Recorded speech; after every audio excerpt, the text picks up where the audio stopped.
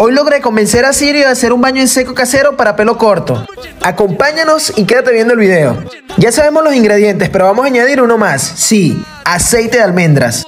Sigue viendo que te voy a explicar. Como flash, sacamos la maicina del empaque, la misma cantidad de maicina y bicarbonato sódico y la mitad de talco para bebé. Y de aceite de almendra vamos a colocar unas 5 goticas. El aceite de almendra nos va a ayudar contra algún tipo de alergia y a hidratar la piel de nuestro perrito. Además los protege de los rayos solares. Y recordemos que los rayos solares en los pelitos cortos afectan mucho más. También lo puedes utilizar en pelos medios o largos. Sirio es un poquito tímido y para darle confianza le corto las uñas abrazándolo. Y ahora le vamos a limpiar esas orejotas. Esas orejitas hermosas que los caracteriza muchísimo a ellos.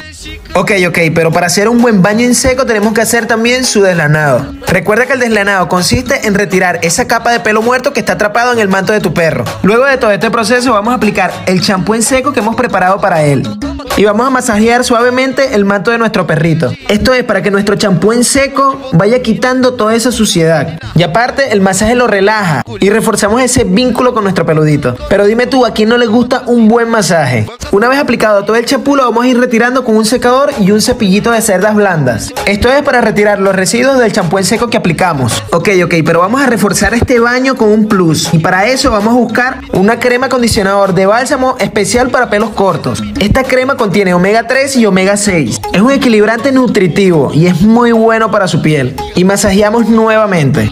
Y ahora para reforzar un poco más, vamos a aplicar un acondicionador en spray. Este no se aclara y sirve como un protector y un restaurador del pelo.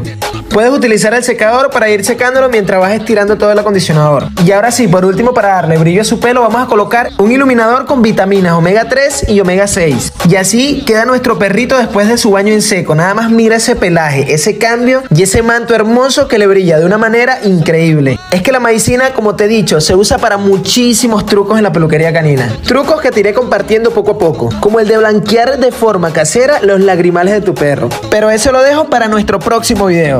Mis allá atrás,